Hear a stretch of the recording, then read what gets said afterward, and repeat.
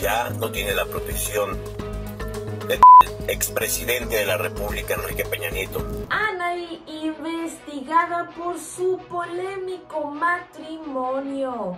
Así es, la situación de esta relación está bastante delicada.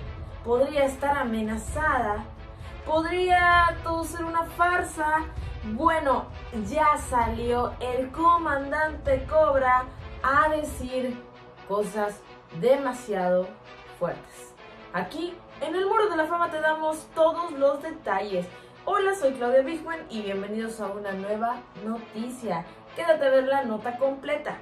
Resulta de que desde pues que inició Ana y su relación con Velasco, pues han habido algunas suposiciones de que a este hombre en realidad no le gustan las mujeres, que solamente está con Anaí por el hecho, pues, de su imagen de político. Tiene que verse como un hombre muy hombre, un padre de familia, un esposo fiel, y entonces ahora tiene con Anaí algunos hijos. Pero todo esto siempre se ha visto como una gran farsa al igual que la relación que tuvo Gaviota con Enrique Peña Nieto, en el cual hubo hasta contrato y se dio a conocer, salió a la luz. Algo así podría estar viviendo ahora Anaí. Pero ¿quién es el comandante Cobra? Bueno, pues él salió a decirle a Velasco que está vigilado que se van a desquitar por lo que le hizo a la gente de Chiapas, a sus hermanos, a su familia, porque obtuvo cosas a base de arrebatar la vida a otros y eso no le parece justo.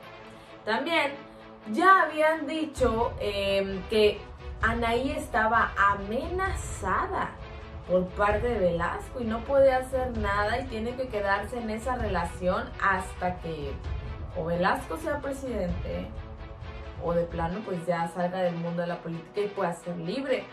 Pero el comandante Cobra ya le mandó a decir, si tú estás amenazada, adelante.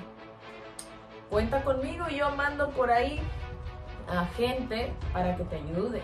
Esas fueron algunas de las palabras del comandante. Pero mija, si el es este te está amenazando de o algo, no te preocupes, no estás sola, me tienes a mí. Otro de los rumores es que Velasco tuvo que ver íntimamente con, ¿quién creen? Enrique Peña Nieto.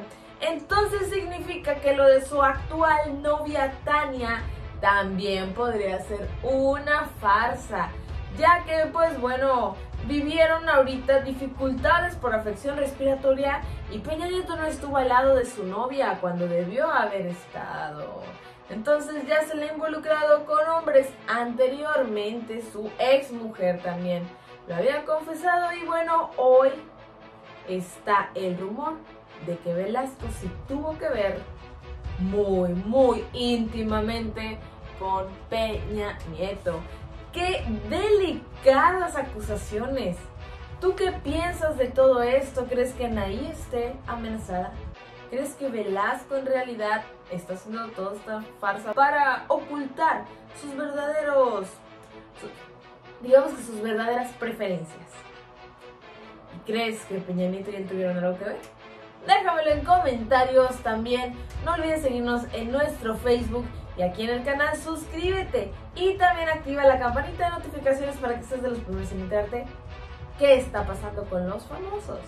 Esto es el Muro de la Fama y nos vemos en otra noticia.